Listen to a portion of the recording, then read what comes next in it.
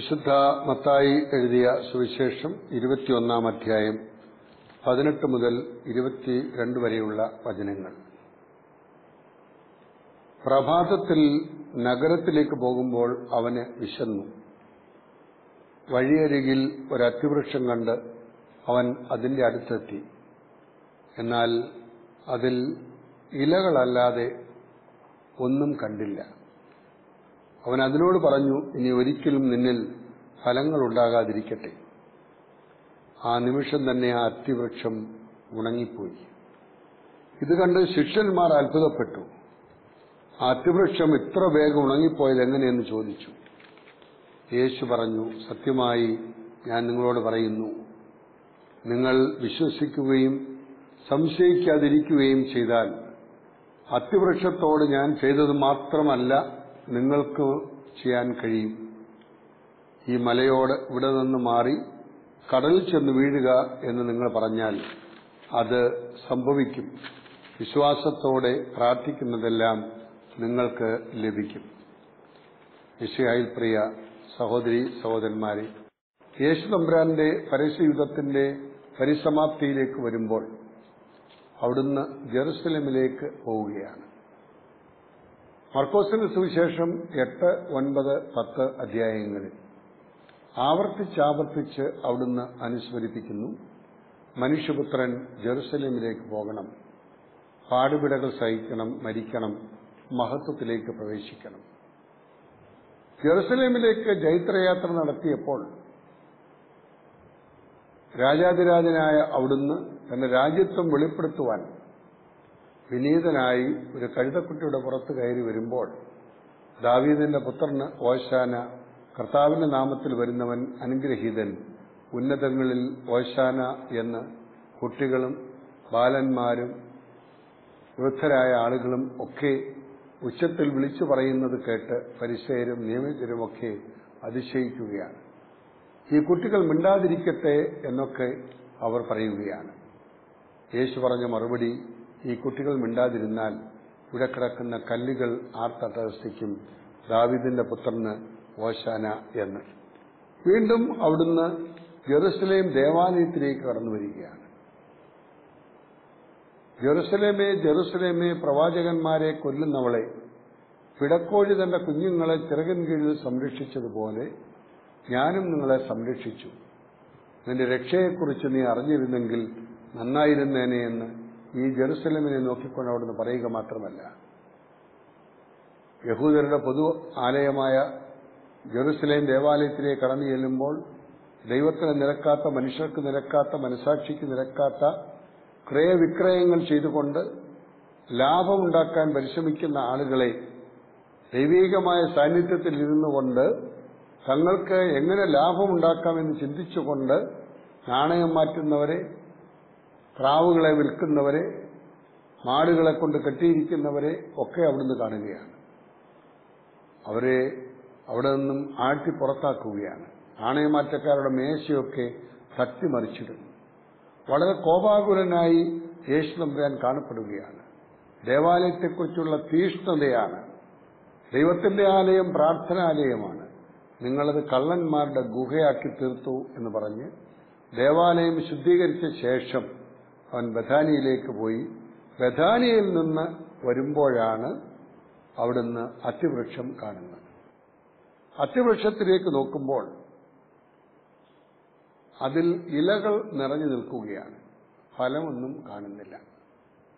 പ്രതീകാത്മകമായ ഒരു സംഭവമായിട്ടാണ് ഇതിനെ സൂചിപ്പിക്കുന്നത്.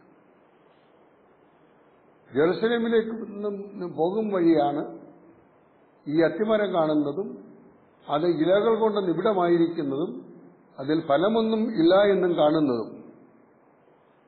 എന്നിട്ടും അവിടുന്ന് ആറ്റുമരത്തെ ശപിക്കുകയാണ്. ഫലമുണ്ടാകാവുന്ന ഒരു സമയമായിരുന്നില്ല. എങ്കിലും ആ അത്തിമരത്തെ അവിടുന്ന് ശവിക്കുകയാണ് അത്തിമരം ഉണങ്ങിപ്പോവുകയാണ്. ഇസ്രായേലിനെതിരായ ഒരു വിധിയാണ് പ്രതീകാത്മകമായി കർത്താവ് ഇവിടെ സൂചിപ്പിക്കുന്നത്. യഹൂദരുടെ ഫലശൂന്യമായ മതാത്മകത യേശു കുറ്റപ്പെടുത്തുകയാണ്. വൃക്ഷങ്ങളുടെ വേരിന് കോടാലി വയ്ക്കപ്പെട്ടിരിക്കുന്നു.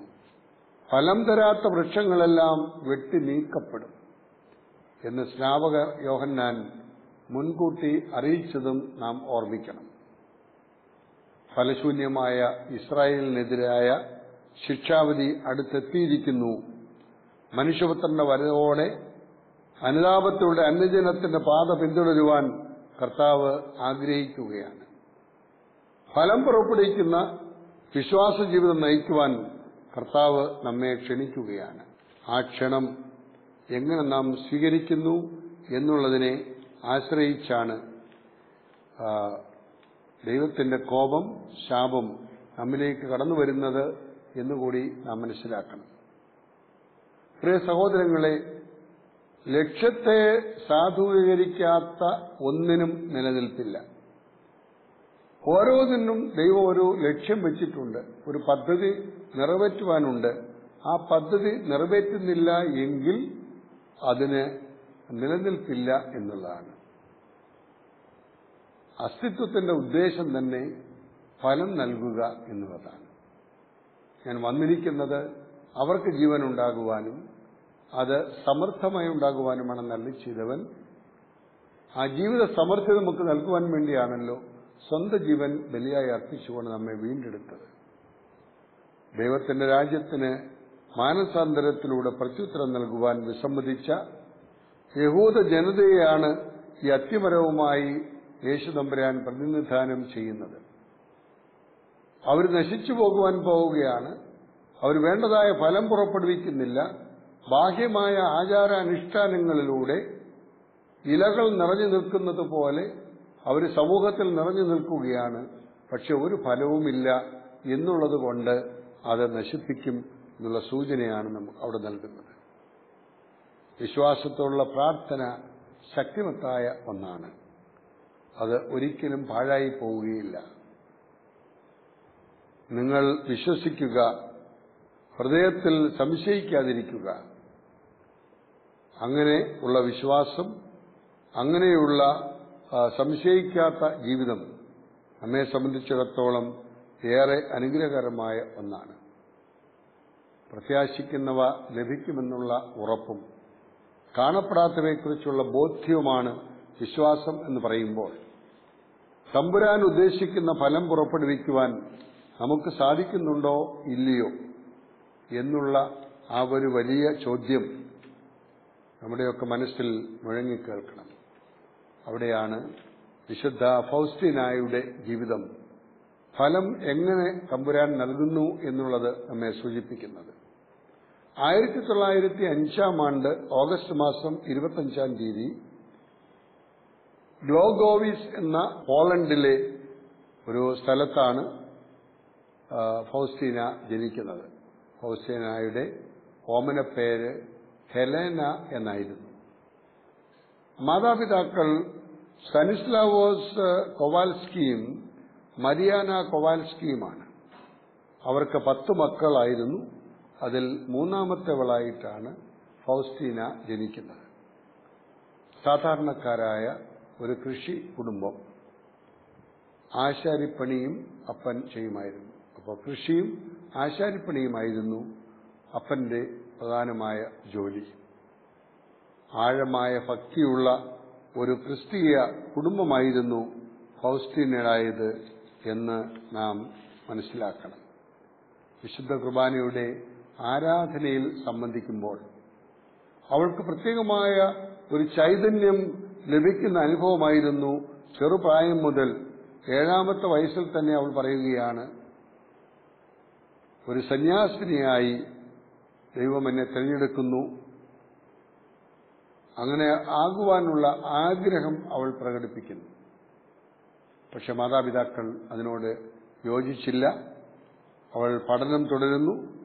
കുടുംബത്തെ സംരക്ഷിക്കുവാൻ വേണ്ടി ചെറിയ ജോലികളൊക്കെ ചെയ്ത് മാതാപിതാക്കളെ സഹായിക്കുന്ന ഒരു പ്രക്രിയയിലൂടെ നീങ്ങിയ അവൾ ആയിരത്തി തൊള്ളായിരത്തി ഇരുപത്തിനാലാം ആണ്ടിൽ പത്തൊൻപതാമത്തെ വയസ്സിൽ ഫൗസ്റ്റിനായും സഹോദരിയായ നഥാലിയായും ജന്മനാട്ടിനടുത്തുള്ള ഒരു ഡാൻസ് ശാലയിലേക്ക് പോകുന്നു. അവിടെ നൃത്തം ആസ്വദിച്ചുകൊണ്ടിരിക്കുമ്പോൾ പീഡാസഹനം ഏറ്റുവാങ്ങുന്ന ക്രൂശിതനായ ക്രിസ്തുവിന്റെ മുഖമാണ് അവർ ദർശിക്കുന്നത്. ആ മുഖം ദർശിച്ചപ്പോൾ അവർക്കുണ്ടായ ഒരു തോന്നൽ ഇനിയും തുടർന്ന് ഈ ഡാൻസിൽ പങ്കെടുത്തുകൊണ്ടിരിക്കുകയല്ല. ഉടൻ തന്നെ അവർ ക്രാക്കോയിലെ കത്തീഡ്രൽ ദേവാലയത്തിലേക്ക് പോയി.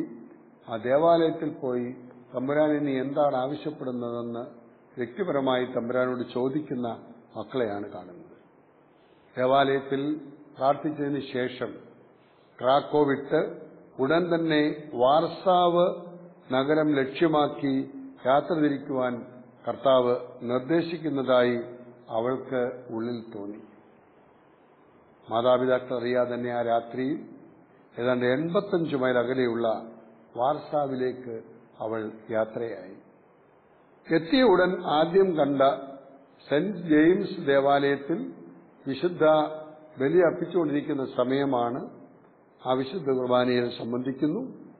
അവിടുത്തെ വികാരി വികാരിയച്ഛൻ ഫാദർ ഡാബ്ലോസ്കിയെ കാണുന്നു.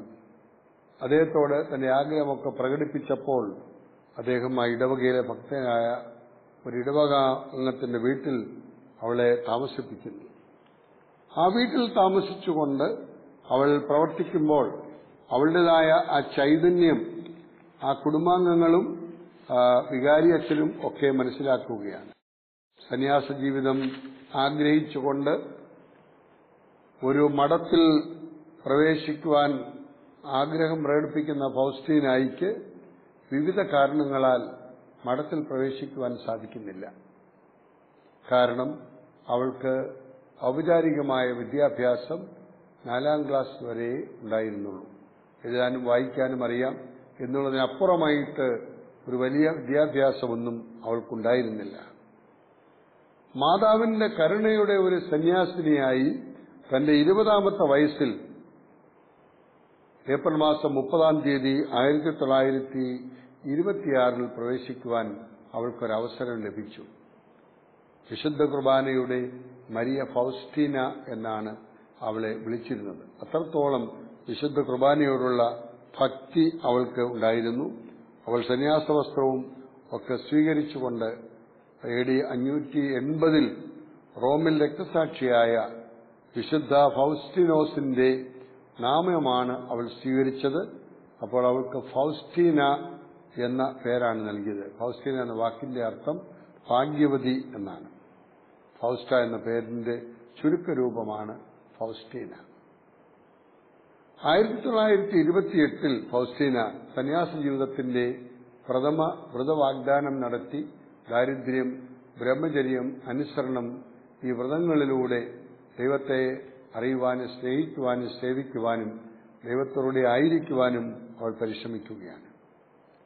സന്യാസിനിയായ അവൾ ലിത്വാനിയായിലെ വിൽനോ എന്ന ഗ്രാമത്തിലേക്ക് അയക്കുകയാണ്. അവിടെ അവൾ പ്രവർത്തിക്കുന്നു. അടുക്കളയിലെ പാചകങ്ങളൊക്കെ ചെയ്യുന്നതിനും പറമ്പിലെ ജോലി ചെയ്യുന്നതിനും ഒരു മടിയും കാണിക്കാതെ അവൾ അവിടെ പ്രവർത്തിക്കുന്നതായി നാം കാണുകയാണ്. ആയിരത്തി തൊള്ളായിരത്തി മുപ്പത് മെയ് മാസം മുതൽ പോളണ്ടിലെ ഫ്ലോക്ക് എന്ന സ്ഥലത്തെ മഠത്തിൽ രണ്ടു വർഷം അവൾ പ്രവർത്തിച്ചു. അങ്ങനെ പ്രവർത്തിക്കുന്ന ഒരു വ്യക്തിയായി അവൾ മാറുകയാണ്. എവിടെയെല്ലാം ഐക്യപ്പെടുന്നുവോ അവിടെയെല്ലാം വിശുദ്ധ കുർബാനയോടുള്ള പ്രത്യേകമായ ഭക്തിയിൽ ജീവിക്കുകയാണ്. ഈ കാലയളവിലാണ് പ്രത്യേകമായി അവൾക്ക് രോഗം ബാധിക്കുന്നത്. അവൾ ക്ഷയരോഗിനിയായി മാറുന്നു. സന്യാസ സമൂഹത്തിന്റെ ചുമതലയിലുള്ള കൃഷിത്തോട്ടത്തിലെ ചെറിയ ഒരു വീട്ടിൽ വിശ്രമത്തിലും പ്രാർത്ഥനയിലും ചെലവഴിക്കുന്ന ഫൗസ്റ്റിനായി നാം കാണുകയാണ്. മറ്റുള്ളവർക്ക് ഈ രോഗം പകരാതിരിക്കാൻ വേണ്ടിയാണ് അവൾ. അവരുടെ മഠത്തിൽ നിന്നും അല്പം അകലെയായി ഉള്ള ഒരു ഭവനത്തിൽ താമസിച്ചുകൊണ്ട് അവളുടെ ജീവിതം തുടരുന്നത്. പ്രിയ സഹോദരങ്ങളെ സന്യാസ സമൂഹത്തിന്റെ ചുമതലയിലുള്ള ഈ കൃഷിത്തോട്ടത്തിലെ ചെറിയ വീട്ടിൽ വിശ്രമത്തിലും പ്രാർത്ഥനയിലും അവൾ സമയം ചെലവഴിക്കുകയാണ്. ആയിരത്തി തൊള്ളായിരത്തി മുപ്പത്തിയൊന്ന് ഫെബ്രുവരി മാസം ഇരുപത്തിരണ്ടാം തീയതി തന്റെ സന്യാസ മഠത്തിന്റെ ഉള്ളിൽ ഇരിക്കുമ്പോൾ ഞായറാഴ്ച രാത്രിയിൽ ദൈവീക കരുണയുടെ രാജാവായി കർത്താവ് പ്രത്യക്ഷപ്പെടുന്നതായിട്ട് അവൾ കാണുകയാണ്. ദൈവികമായ കരുണയുടെ ഉടമയായി കർത്താവായ യേശു ക്രിസ്തു അവൾക്ക് പ്രത്യക്ഷപ്പെടുകയാണ്. വെള്ള പുറങ്കുപ്പായം ധരിച്ച് കർത്താവിന്റെ തിരുമാറിവിൽ നിന്ന് നിറമുള്ള കിരണങ്ങൾ പുറപ്പെടുവിക്കുന്ന രൂപത്തിലുള്ള ദർശനമാണ് അവൾക്ക് ലഭിക്കുന്നത്. ആ ദർശനം കണ്ടുകൊണ്ട് അവൾ ഒരു പടം തന്നെ വരയ്ക്കുകയാണ്. ആ കണ്ട യേശുവിനെ വെള്ളവസ്ത്രം ധരിച്ച് നെഞ്ചിൽ നിന്നും കിരണങ്ങളെ പ്രവഹിച്ചുകൊണ്ടിരിക്കുന്ന ആ യേശുവിന്റെ പടം വരച്ചിട്ട് അവൾ അതിന്റെ അടിയിൽ എഴുതി Jesus I trust in you. കർത്താവെ ഞാൻ അങ്ങിൽ ശരണപ്പെടുന്നു അങ്ങിൽ ഞാൻ ആശ്രയിക്കുന്നു. എന്നെ എന്നെ ഞാൻ സമർപ്പിക്കുന്നു എന്ന് പറയുകയാണ്. ഈ ആദ്യത്തെ ചിത്രം അവരുടെ മഠത്തിൽ ചാപ്പലിൽ സൂക്ഷിക്കുകയാണ്. ക്രമേണ ലോകം മുഴുവൻ ദൈവകരുണയുടെ ചിത്രം പ്രചരിപ്പിക്കുവാനും ഫൗസ്റ്റീനായിക്ക് ദൈവ ദർശനമുണ്ടായി തമ്പുരാന്റെ കാരുണ്യം ലോകത്തെ അറിയിക്കുവാൻ ദൈവത്താൽ തിരഞ്ഞെടുക്കപ്പെട്ട ഒരു വ്യക്തിയായിട്ട് അവൾ മാറുകയാണ്. ദൈവകരുണയുടെ ചിത്രം സൂക്ഷിക്കുന്ന വ്യക്തി ഒരിക്കൽ നശിക്കില്ല എന്ന വാഗ്ദാനവും അവൾക്ക് ലഭിച്ചു. അപ്പോൾ കരുണയുടെ ഈ പടം സൂക്ഷിക്കുന്ന ഒരു വ്യക്തി ഒരിക്കലും നശിക്കുകയില്ല എന്നുള്ള ഒരു സന്ദേശവും അവൾ ലോകത്തിന് നൽകുകയാണ്. ഈസ്റ്ററിന് ശേഷമുള്ള ആദ്യ ഞായറാഴ്ച കരുണയുടെ തിരുനാളായി ആചരിക്കണം എന്ന് ഫൗസ്റ്റീനായിക്ക് ദർശനമുണ്ടായി. അതുകൊണ്ടാണ് പ്രിയ സഹോദരങ്ങളെ ഈസ്റ്റർ കഴിഞ്ഞു വരുന്ന ആദ്യത്തെ ഞായറാഴ്ച സൺഡേ ഓഫ് ഡിവൈൻ മേഴ്സി തമ്പുരാന്റെ ദിവ്യ കാരുണ്യത്തിന്റെ ദിവസമായി അതിനെ പുതുഞായറായ അന്ന് ആ ദിവസത്തെ പ്രഖ്യാപിക്കുകയാണ്. ആയിരത്തി തൊള്ളായിരത്തി മുപ്പത്തി മൂന്ന് മെയ് ഒന്നാം തീയതി ഫൗസ്റ്റീന നിത്യവ്രതം സ്വീകരിച്ചു. പരിപൂർണമായി തന്നെ തന്നെ ദൈവത്തിന് സമർപ്പിച്ചുകൊണ്ട് നിത്യവ്രതം എടുത്ത അവൾ ആയിരത്തി തൊള്ളായിരത്തി മുപ്പത്തിമൂന്ന് മുതൽ മുപ്പത്തി ആറ് വരെ വീണ്ടും വിൽനോ മഠത്തിൽ ശുശ്രൂഷിച്ച് പച്ചക്കറികൾ പ്രത്യേകമായ കൃഷിയിലുമൊക്കെ ഇടപെട്ട് സമയം ചെലവഴിക്കുകയാണ്. കുമ്പസാരക്കാരനായ ഫാദർ മൈക്കിൾ മൈക്കിൾ സൊഫോക്കെ അദ്ദേഹത്തെയാണ് അവൾക്ക് കുമ്പസാരക്കാരനായി ലഭിച്ചത്. അദ്ദേഹം യൂണിവേഴ്സിറ്റിയിലെ പാസ്റ്ററൽ തിയോളജിയുടെ പ്രൊഫസറായി സേവനമനുഷ്ഠിക്കുകയായിരുന്നു. ആവർത്തിച്ച് ഈശോ പ്രത്യക്ഷപ്പെടുന്ന കാര്യം. കുമ്പസാരക്കാരനായ ഫാദർ മൈക്കിൾ സൊഫോക്കോയോട് ഫൗസ്റ്റീന അറിയിച്ചപ്പോൾ പല പ്രാവശ്യം അവൾ ഇത് ആവർത്തിച്ചു. അപ്പോൾ അദ്ദേഹം യഥാർത്ഥത്തിൽ ഇവൾക്ക് ദൈവികമായ ഒരു ഒരു ദർശനമാണോ ലഭിക്കുന്നത്? ശാരീരികമായി അവളുടെ മനോനില എങ്ങനെയാണ്? എന്നൊക്കെ അറിയണമെന്നുള്ള ആഗ്രഹത്തിൽ ഫാദർ മൈക്കിൾ വളരെ വിദഗ്ധയായ ഹെലന എന്ന മനഃശാസ്ത്രജ്ഞ ഡോക്ടറെ ഈ വിവരം അറിയിക്കുകയും ഫൗസ്റ്റീനായുടെ ജീവിതത്തെ ഒന്ന് വിലയിരുത്തുവാൻ ആവശ്യപ്പെടുകയും ചെയ്തു. അങ്ങനെ വിലയിരുത്തിയതിന്റെ ഫലമായിട്ട് അവളിൽ ഇങ്ങനെയുള്ള കുറവുകളൊന്നുമല്ല കാണുന്നത്. അതിനപ്പുറമായിട്ട് വളരെ വ്യക്തമായ ഒരു കാഴ്ചപ്പാട് അവൾക്കുണ്ട്. മനഃശാസ്ത്രപരമായിട്ട് വളരെ പക്വതയാർജിച്ച ഒരു വ്യക്തിയാണ്. അതിലൊരു ചാഞ്ചല്യമില്ലാത്തവളാണെന്നൊക്കെ ഡോക്ടർ ഹെലന സാക്ഷ്യപ്പെടുത്തുകയാണ്. എല്ലാ പരീക്ഷണ നിരീക്ഷണങ്ങൾക്ക് ശേഷം സമ്പൂർണ മാനസിക ആരോഗ്യമുള്ളവളായി അവൾ പ്രഖ്യാപിക്കപ്പെട്ടു. ഫൗസ്റ്റീനായുടെ ഈ ദൈവിക വെളിപാടുകളിലും ആധ്യാത്മിക അവസ്ഥയിലും സത്യസന്ധത മനസ്സിലാക്കിയ ഫാദർ മൈക്കിൾ ഫൗസ്റ്റീനായെ പ്രോത്സാഹിപ്പിക്കുകയാണ്. നിന്റെ അനുഭവമൊക്കെ ഒരു ഡയറിയിൽ എഴുതി വയ്ക്കുവാൻ ആവശ്യപ്പെടുകയാണ്. ലഭിച്ചുകൊണ്ടിരിക്കുന്ന എല്ലാ ദർശനങ്ങളും അവൾ അങ്ങനെ രേഖപ്പെടുത്തുവാൻ തുടങ്ങി.